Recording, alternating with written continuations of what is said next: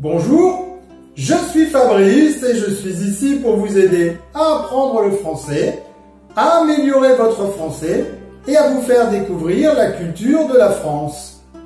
À la fin de ma vidéo, il y aura une petite partie de grammaire sur que et qui.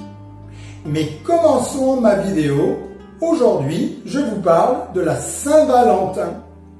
Je pense que vous connaissez cette date, bien sûr, la Saint-Valentin. Vous savez que c'est la fête des amoureux, la fête de tous les amoureux, la fête de ceux qui sont amoureux. L'image qui me vient à l'esprit est celle de Cupidon qui tient un arc et qui transperce un petit cœur avec sa flèche. À la Saint-Valentin, J'espère que quelqu'un vous offrira une carte ou alors des chocolats qui seront dans une boîte en forme de cœur ou encore peut-être des fleurs, des roses rouges. Et savez-vous que dans le langage des fleurs, les roses rouges expriment la passion amoureuse. Ces roses peuvent être achetées chez un fleuriste que vous connaissez et vous pouvez les offrir vous-même.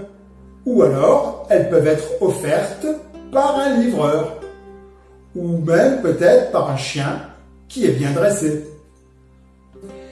On peut également offrir des bijoux tels que un collier, des boucles d'oreilles, un bracelet, une montre, mais je pense que le plus beau cadeau que vous pouvez offrir, c'est une bague, une bague qui sera offerte lors d'un dîner aux chandelles.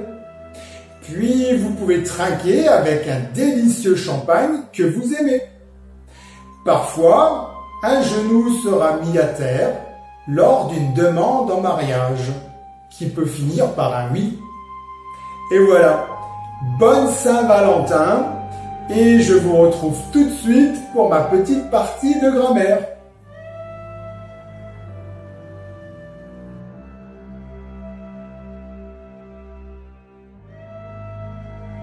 Comme promis, je vous retrouve dans ma petite partie de grammaire et je vais vous expliquer que et qui. C'est très facile, vous allez voir. Que s'utilise dans une phrase lorsqu'on exprime un sentiment et on relie en fait deux phrases. Par exemple, je pense que, je crois que, je dis que, tu sais que, elle espère que. Vous voyez, ça relie deux phrases ensemble.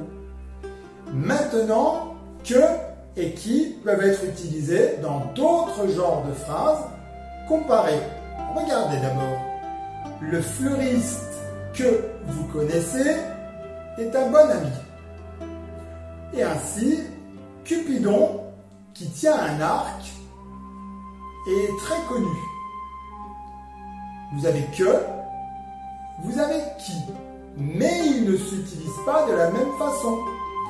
Regardez bien, qui est suivi d'un verbe, Cupidon qui tient, c'est un verbe, et que est suivi d'un sujet et d'un verbe, le fleuriste que vous connaissez. Regardez d'autres exemples. L'homme qui vient est mon frère. L'homme que tu vois est mon frère. Dans le premier exemple, qui est suivi du verbe. Dans le deuxième exemple, que est suivi d'une phrase, un sujet tu et un verbe vois. Et voilà. J'espère que vous avez compris et je vous laisse maintenant parce que je pense que je vais recevoir un tas énorme de lettres pour la Saint-Valentin. Enfin, j'espère. à très bientôt. Au revoir.